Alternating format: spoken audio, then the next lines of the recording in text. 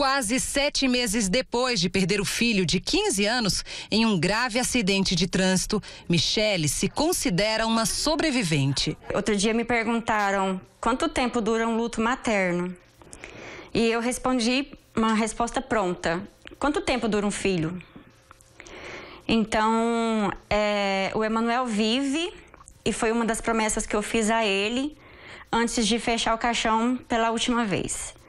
Você vive, você vai viver enquanto eu viver. Eu prometo te manter vivo. Pode ser que o, a situação fatídica caia no esquecimento, mas o Emanuel jamais vai cair no esquecimento. Emanuel Felipe Pires, de 15 anos, morreu em um acidente de carro na Avenida Brasil, em Anápolis, em outubro do ano passado. Ele estava em uma caminhonete com outras duas pessoas. Uma delas, um jovem de 26 anos, que também morreu. Emanuel ia ajudar o pai, que aguardava o filho quando soube do acidente. O veículo em que eles estavam se chocou com o do empresário Cristiano Mamédio, de 35 anos, que dirigia embriagado. Emanuel morreu no local, mas vive na lembrança da mãe e de quem mora no mesmo condomínio da família. A quadra esportiva ganhou o nome dele. Hoje, a mãe, que ainda sofre a perda do filho, virou sinônimo de força e luta. Nas redes sociais, ajuda outras mães a lidarem com o luto. É o nosso grupo, é uma é, ele começou com quatro, cinco pessoas, hoje a gente já está em 21 mãezinhas. Nosso grupo tem ajudado uma outra. É um, a gente diz que é uma não tem regra, é uma regra sem regra, porque lá você pode chorar, você pode desabafar, você pode dizer que hoje você não está num dia bom e você percebe que a mãe que tem três, quatro anos de, de uma filha que ela teve que devolver tem a mesma dor que eu e as outras mães que ainda estão recentes. O empresário que provocou o acidente já tinha sido alvo de uma operação de trânsito da polícia ao ser flagrado dirigindo sob o efeito do álcool. Poucos meses depois, a cena se repetiu, mas dessa vez tirou a vida de duas pessoas inocentes. Cristiano foi indiciado por homicídio doloso quando há intenção de matar.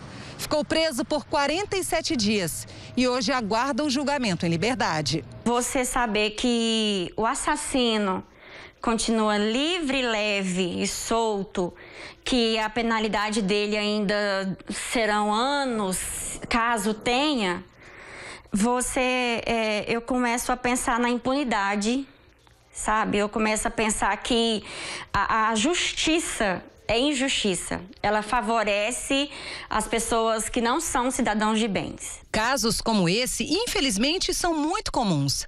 As famílias das vítimas é que ficam presas numa luta em busca da punição e da justiça. A família de quem leva um tiro, um projétil de arma de fogo, a sua família vai ver o seu, o seu algoz processado por homicídio doloso, vai vê-lo preso, vai vê-lo indo a júri popular. Agora, a família de quem foi assassinado no trânsito, ela faz uma peregrinação, uma via crucis em busca de justiça.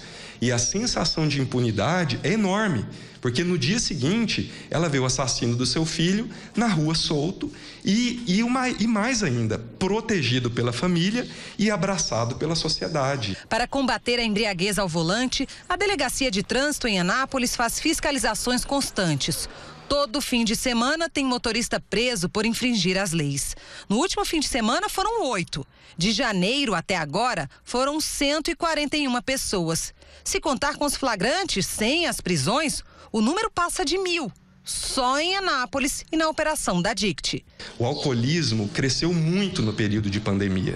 E mesmo com fechamentos de bares, boates, as pessoas continuam trafegando pelas ruas, dirigindo seus os seus veículos sob efeito de bebida alcoólica.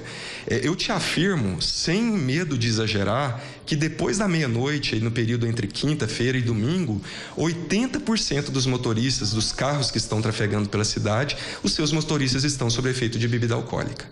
Os crimes no trânsito, além de tirarem vidas, trazem um outro problema para a sociedade: a alta ocupação de leitos de UTIs em hospitais. A embriaguez ao volante não é hoje um problema de segurança pública apenas. É talvez um dos principais problemas de saúde pública do país. Isso porque a maior parte dos leitos de UTI, mesmo em tempos de pandemia, são ocupados por acidentados de trânsito. Segundo o IPEA, é um dos pacientes mais caros da rede pública de saúde e de maior permanência.